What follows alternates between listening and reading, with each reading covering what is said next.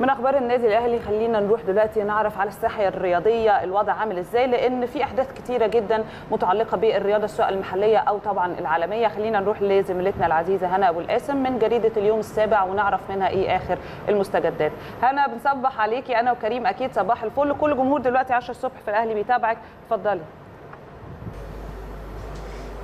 يا صباح الخير عليكم يا نهواند ويا كريم وعلى كل مشاهدي قناة الأهلي في كل مكان. بداية أسبوع جديد و10 الصبح في الأهلي وزي ما عودناكم دايما من مقر جريدة اليوم السابع هناخدكم في جولة لأبرز وأهم أخبار الصحف الرياضية الصادرة اليوم.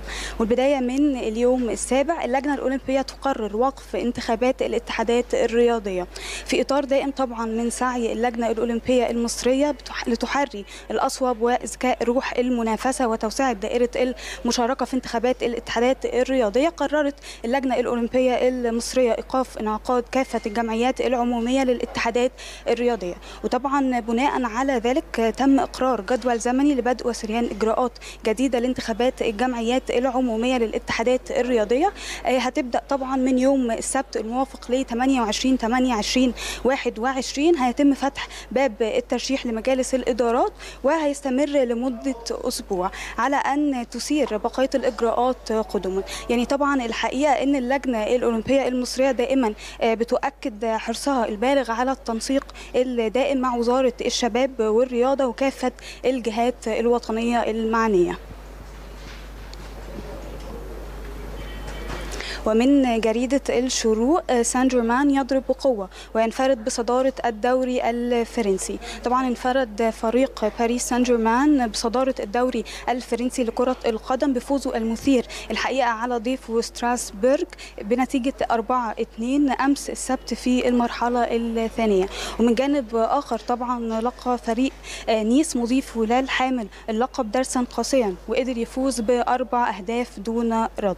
يعني لو هنتكلم أكتر عن مباراة باريس سان جيرمان على استاد حديقة الأمراء. حقق الفريق فوزه الثاني على التوالي في غياب طبعا الوافد المنتظر الحقيقي الأرجنتيني الجديد ليونيل ميسي وأيضا غياب زميله البرازيلي نيمار. وطبعا بهذا الفوز قدر يرفع باريس سان جيرمان رصيده في صدارة الترتيب إلى ست نقاط في حين إنه ظل ستراسبورغ في قاع الترتيب بدون نقاط. وعلى صعيد آخر رفع نيس رصيده إلى أربع نقاط وتوقف في رصيد ليل عند نقطة واحدة.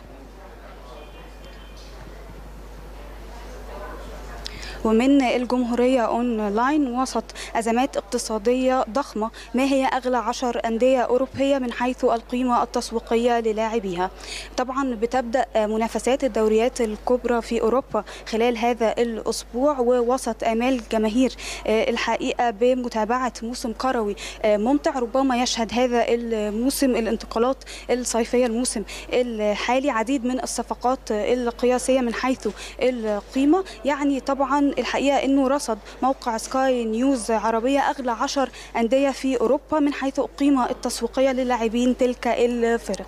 بيحتل المركز الأول مانشستر سيتي الإنجليزي وبتبلغ قيمة لاعبيه مليار جنيه استرليني يعني تقريبا مليار جنيه استرليني. وبعد ذلك بيأتي في المركز الثاني عفوا بطل أوروبا تشيلسي. وتبلغ القيمه التسويقية للاعبيه 998 مليون جنيه استرليني. في المركز الثالث بيأتي باريس سان جيرمان بقيمة تسويقيه 993 مليون جنيه استرليني في المركز الرابع ليفربول بقيمة تسويقيه تبلغ 905 مليون جنيه استرليني أما في المركز الخامس بيأتي مانشستر يونايتد بقيمة تسويقية تبلغ 900 مليون جنيه استرليني يليه في المركز السادس ريال مدريد بقيمة تبلغ 848 مليون جنيه استرليني. بعد ذلك في المركز السابع العملاق البافاري طبعا بايرن ميونخ بقيمة تبلغ 820 مليون جنيه استرليني. في المركز الثامن يأتي نادي برشلونة بقيمة تبلغ 763 مليون جنيه استرليني. في المركز التاسع يأتي بطل إسبانيا أتلتيكو مدريد بقيمة قيمة 730 مليون جنيه استرليني. وفي المركز العاشر والأخير يأتي توتنهام بقيمة تسويقية 704 مليون جنيه استرليني.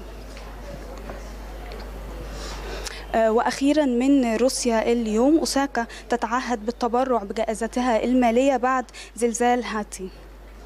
طبعا تعهدت لاعبة التنس نعومي أوسكاتا لاعبة التنس زي ما قلت بالتبرع بجائزتها المالية من مشاركتها في بطولة التنس هذا الأسبوع. طبعا ده لدعم جهود الإغاثة بعد الزلزال اللي هز مدينة هيتي الحقيقة.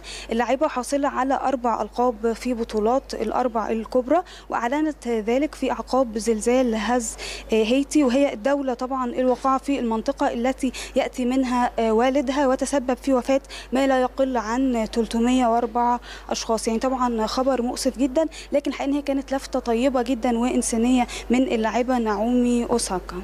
يعني دي كانت أبرز أخبارنا. خلوني كمان قبل ما أختم فقرة أخبار الصحف الرياضية أفكر جميع مشاهدينا بمباريات اليوم في الدوري المصري والإنتاج الحربي هيواجه مصر المقصة في تمام السابعة مساء. يعني دي كانت أبرز وأهم أخبار داخل من الصحف الرياضية من داخل مقر جريدة اليوم السابع. العودة ليكم مرة أخرى نهاوندو يا كريم.